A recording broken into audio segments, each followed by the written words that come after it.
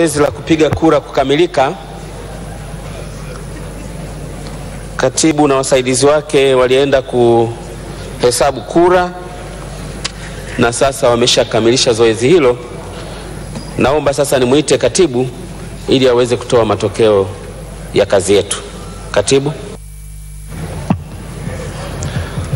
Mheshimiwa Spika, idadi ya wabunge waliopo na ambao walipiga kura walikuwa 348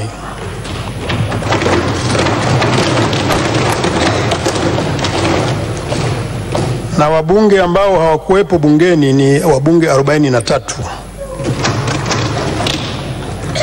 Kura za hapana zilikuwa 82.